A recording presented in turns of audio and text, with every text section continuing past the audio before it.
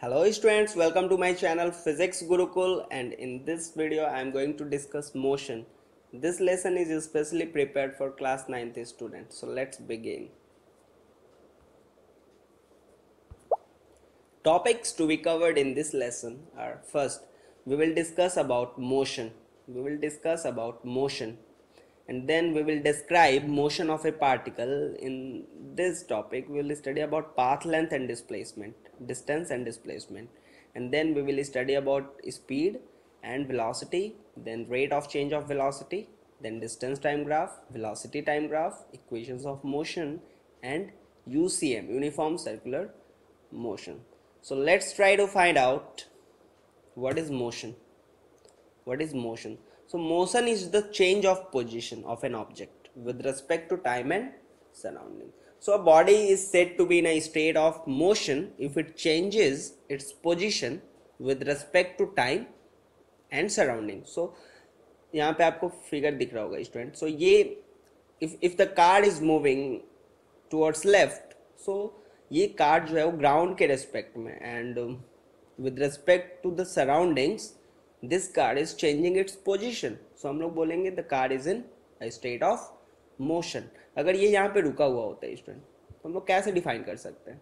या अगर कोई भी बॉडी स्टेट ऑफ़ रेस्ट में सो वो अपना पोजिशन जो है टाइम और सराउंडिंग के रिस्पेक्ट में चेंज नहीं कर सकता। तो हम लोग स्टेट ऑफ़ रेस्ट को कैसे डिफाइन करेंगे student if a body do not change its position with respect to time and surrounding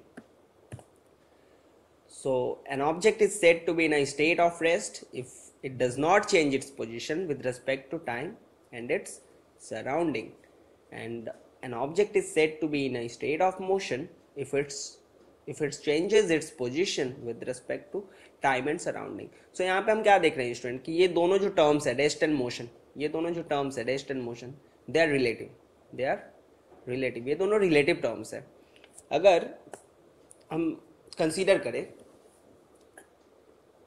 train train में कुछ पैसेंजर्स हैं and a person is standing at the platform at the platform so for the person standing on the platform the car is the train is in motion right student and so the passengers so passenger कैसे दिखाई दे रहे होंगे उनको train के साथ move कर रहे हैं सो a person on the standing on the platform will observe the person who are sitting in the train are in motion are in motion but with respect to all the other passengers with respect to all the other passengers they are at rest.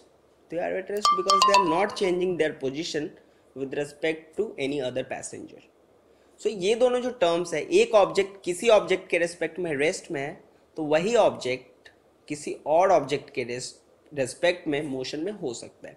तो ये दोनों जो terms है they are not absolute ऐसा नहीं है कि अगर कोई बॉडी रेस्ट में है तो सभी के रेस्पेक्ट में वो रेस्ट में किसी और बॉडी के रेस्पेक्ट में वो मोशन में हो सकता है मोशन में हो सकता है so these two terms rest and motion are relative terms so there are different kind of motion circulatory motion linear motion oscillatory motion what is circulatory motion so when an object moves in a circular path the motion is circular and when an object moves in a straight line or the motion in 1d one dimension if a body is moving along x-axis or along y-axis or g-axis the motion is said to be linear right because the motion is in a particular axis particular straight line and oscillatory motion so to and fro motion को हम oscillatory motion बोलते हैं जैसे कि motion of a pendulum pendulum watch अपने आप लोगों ने देखा होगा तो उसमें जो पेंडुलम होता है टू एंड फ्रू मोशन कर रहा है about the mean position so that is the oscillatory motion so circular motion so when an object moves in a circular path the motion is said to be circular so इसके examples students जैसे earth earth is moving around the sun in a circular path तो motion of earth को हम circular motion बोल सकते हैं वैसे ही motion of moon around the earth and motion of electrons around the nucleus. All these examples are for circular motion. Translational motion. So when an object moves in a straight path, straight line like motion of a car on a road motion of a car on a road is motion in 1d so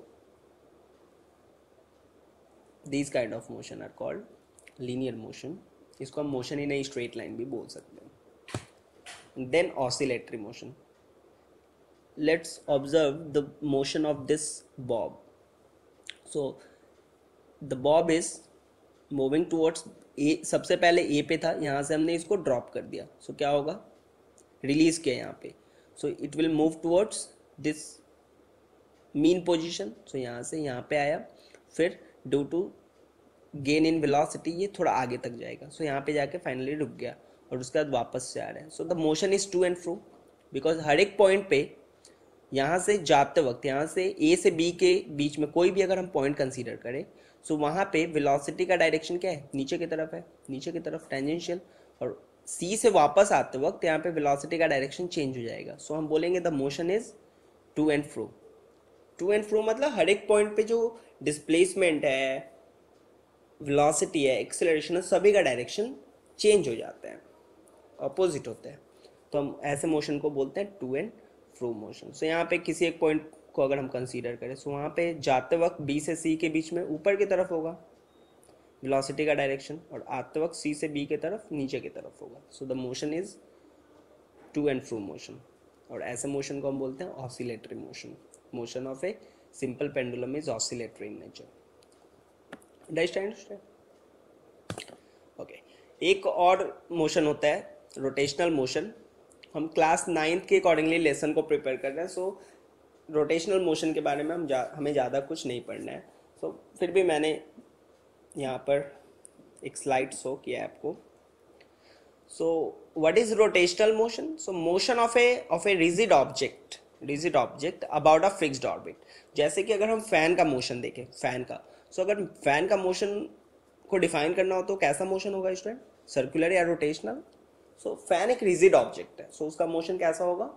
Rotational because fan is rotating about that middle uh, particular axis right so ये axis of rotation है और rotational motion में खासियत क्या है ये जो rigid body है जो बहुत सारे पार्टिकल से मिलके बना है each particle each particle is moving around this axis in a circular path. So each particle of a rigid body follows a circular path. So motion of a rigid object about a fixed orbit is said to be rotational. Rotational. Thanks for watching. Please like and subscribe our channel. Thank you